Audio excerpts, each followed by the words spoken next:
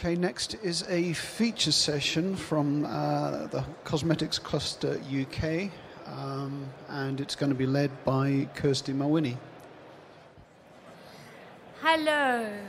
Good afternoon. Thank you for missing on your lunch. Um, you can always get it after this session if you haven't had it before. My name is Kirsty, and I'm Director of Cosmetics Cluster UK. If you're thinking, wow, what is a cluster? Why don't you come over to stand M15 after this session and we'll tell you a little bit more about it. Um, today's title is How on Earth Do You Get From Source to Bottle? So, it's all about the cosmetic sector and the value chain. The global cosmetics market is expected to be worth $48 billion by 2025. Here, we place a spotlight on the ingredients from the bioeconomy, highlighting new processes, sources, and alternative forms um, from the chemical industry. Upcycling, if we haven't heard that word a lot um, recently, is used in other industries. Waste streams is a key trend. So, incorporating green chemistry principles with the 21st century innovation through biotechnology processes such as fermentation is what we're going to be discussing today. We're also seeing a great transformation of the ingredient supply chain in the cosmetic sector. Often, bio based functional ingredients can outperform their fossil based counterparts. I know some of our speakers are going to share a little bit about that as well as being kinder to the environment, and they meet market claims such as vegan and natural. So, we have many startups and innovators and potentially new suppliers that are unfamiliar with this industry, what it needs are, and how to enter it viably. CC UK, Cosmetics Cluster UK, acts as a bridge between the bioeconomy and the cosmetic industry, bringing together experts from the cosmetic field to share their experience and expertise to help knowledge flow along the value chain. So, without further ado, I'm going to explain how we're running this session. We've got two parts to this session. Session one is a masterclass, and I have two fabulous speakers I will mention in a moment. And then session two is a case study session and panel discussion. So, the masterclass we have Dr. Judi Beerling of Pet Tech Associates, and she's going to be discussing can certification standards help define natural and sustainable for the cosmetic formulator.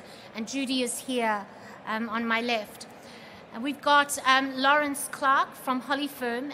He's next to Judi. He's going to be talking about the challenges of sustainable product development and how to overcome them. And as I've mentioned, we've got session two, part two, which is the case studies. So over here on my right, I have Richard Locke of Holiferm. He's the managing director, and he's going to talk all about scale up. Next to Richard is Rachel Davidson of Berens, and she's going to talk cream from the crop, ingredients crossing the boundaries from food and other divisions into cosmetics. Next to um, Rachel is Narinder Baines, and he's going to be talking about developing a sustainable bio based ingredient for cosmetic products. And Navindo is from a company called iNuvo. And finally, but definitely not least, is a representative from CPI, Melanie Gear, and she's going to be talking about innovative projects with CPI. So, without further ado, let me bring up Judi, and each speaker will come up in according to how I've just announced them. To cut down on time, we're going to run through all the speakers' sessions, and then we're going to do a Q&A at the end. Fingers crossed we don't run over.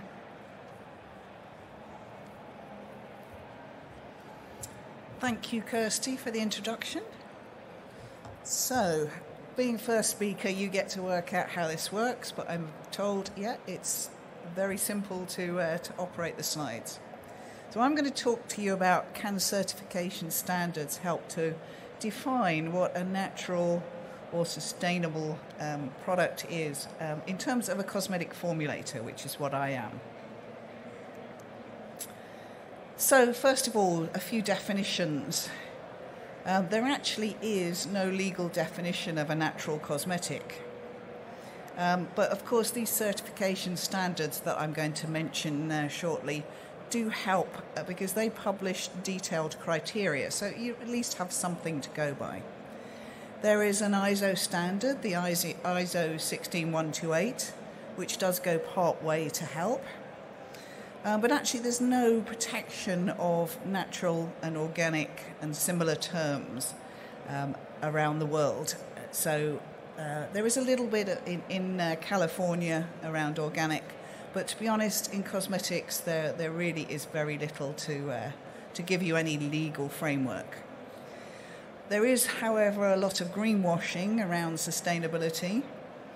And I think it's true to say that many, many consumers these days want to know more about how products are made. What do they contain? What's, what sort of uh, container is the product in? And something about the life cycle of products. So um, there's certainly a lot of interest in this area. So, um, the ingredients that go into natural cosmetics, which is often where you're starting when you're, you're formulating, deciding on them. And the various standards all do have a, a, a kind of common ground, a sort of ethos, um, and it's around no petroleum derived products, no synthetic fragrances and colours. Uh, they tend not to allow things like silicone oils and derivatives they, they tend not to like genetic modification of ingredients. Um, also, irradiation tends to be uh, out of the picture as well, and that's often, uh, you know, maybe used in botanical ingredients or even end products. Um, and so, really, only natural, naturally derived. Um, they're called various things, also called derived, natural, chemically modified, but basically natural origin ingredients, and certain things that are nature identical so, in particular, in, in uh, cosmetics, some of the uh, the preservatives are actually kind of identical to what you can find in nature, but they're they are actually made synthetically. These can tend to be the things that you use in the in a natural formulation. A few words on the ISO standard. I'm not going to to bore you to death with uh, with lots of information, but just to say that this exists. It gives you guidelines for uh, for um, the ingredients and uh, something around the products, and it's divided into part one and part two. So, part one, which came out first, defines it, the ingredients that can be natural or organic. Um, and then part two goes more into the criteria for these ingredients and the end products. And that came uh, about 18 months after the first part. It took a lot of work over many years to come up with this ISO standard. So, a few words about part two. So, this gives you a framework to determine the natural, the natural origin, the organic, and the organic origin content of products based on the ingredients that you have in there. But what it does stop short of doing is defining what a minimum percentage of these natural origin ingredients should be in the end product. So it kind of doesn't really finish off the whole um, process by, by saying you've got to have 50%, 70%, 80%, whatever. Um, so it's useful for ingredient businesses, um, but less so for the formulator or for marketing purposes what happens when you uh, you formulate a product? What's the process if you're trying to do something more natural? You need to obviously be very careful about your formulation spe- specifications and the direction early on in the process. Know where you're going is always helpful. Um, you need to define what your benchmark products are. Are there things on the market that that work really well that you want to, to do something similar to? Um, but are, those actually natural or organic? Um, if they're not, if they're a, a, what I would call a more conventional product, um, maybe they contain ingredients, certain synthetics, that are quite hard to mimic. Um, things like silicones and acrylic copolymers. Um, and also, will the product need to be coloured or fragranced? That's very important. Doing that naturally is more difficult. Um, and also, do you want to look at the whole uh, sustainability angle in terms of do you want to cold process the product or minimize water usage? And of course, very important these days, what's it going to be packaged in? So the challenges for the formulator are selecting the, the functional ingredients. They kind of form the chassis of the formulation. Um, and so getting those right is really, uh, really um, important. And if you're going to come up with something that truly is going to be um, a natural or green product, then you need to get those uh, in, a, in a natural form. But if it's something grown agriculturally, that, that supply chain may not be always uh, guaranteed. Um, and also a, a, shout out for small brands that we tend to call indie brands in the industry. Minimum order quantities can be a, a big problem for small companies who don't want to buy several tons of an ingredient. But you still need to do all the normal things you do in cosmetics evaluate product stability, colour, odour, safety, and also look at the cost implications. And of course, energy usage these days is very important in the production process, the packaging, the carbon dioxide and water footprints. They're all things you need, need to take into account in terms of sustainability. I'm sure you all know what sustainability is about several pillars around social, environmental, economic aspects.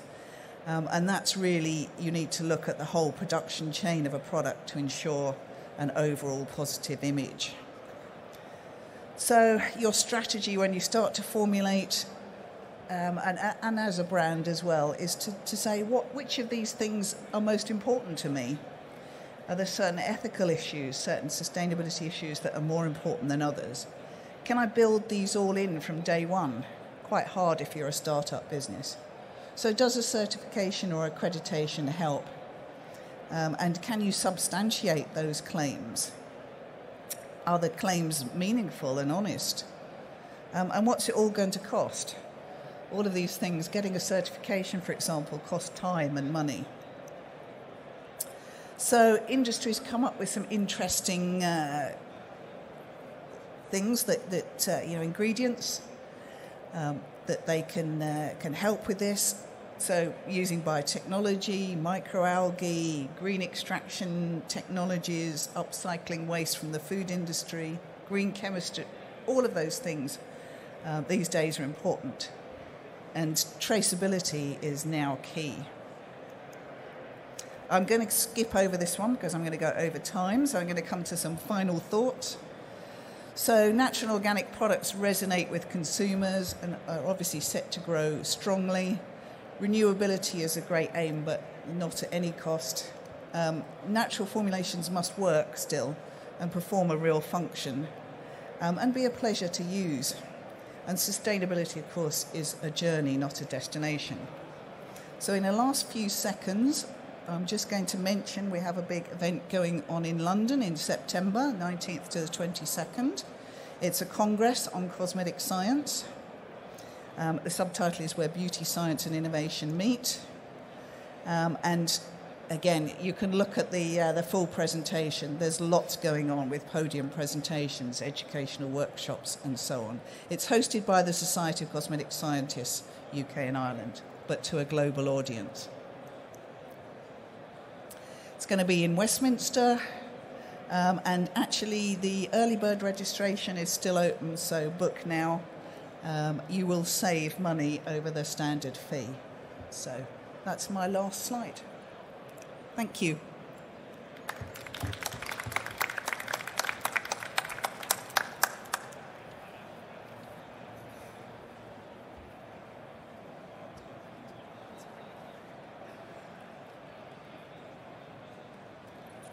Hi everyone, thanks for coming. My name is Lawrence Clarke of Holiferm. Um, and I'm going to speak to you a little bit about the challenges of uh, sustainable product development. So first of all, most important thing you need to do is decide what product it is that you want to make. Might sound like a silly question, but what claims do you want to make? Um, as has been touched on before, what products do you want to be similar to? Um, in a performance standpoint, visual, and then also what do you want to change from a sustainability point of view?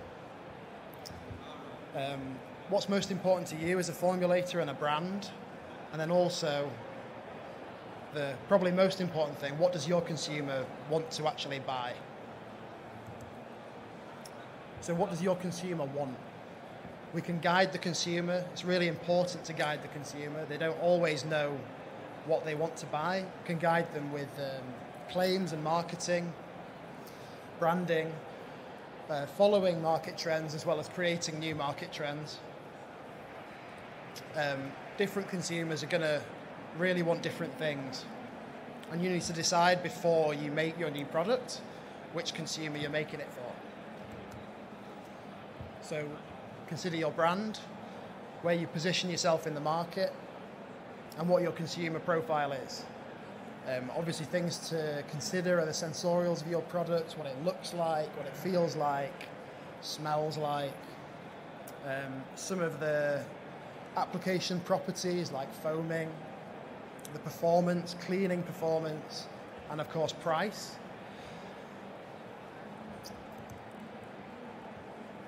There's plenty of consumers that want to buy natural, uh, natural products, want to make a difference in, and put their money kind of where their mouth and uh, ideologies are in terms of buying sustainable products.